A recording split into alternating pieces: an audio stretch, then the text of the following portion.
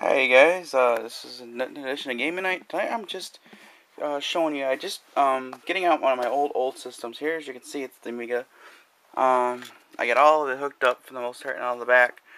Um, for those of you that are familiar, uh, I've it's been ages, but on the keyboard here in the back, I have the left and right audio, and I'm trying to get audio output so I can play my games with sound instead of being no sound at all.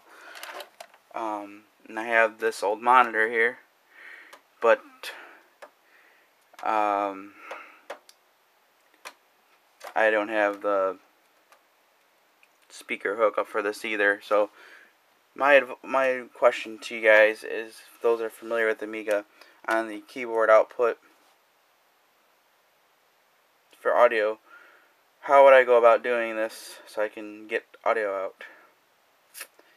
Um, so I'm not familiar with the.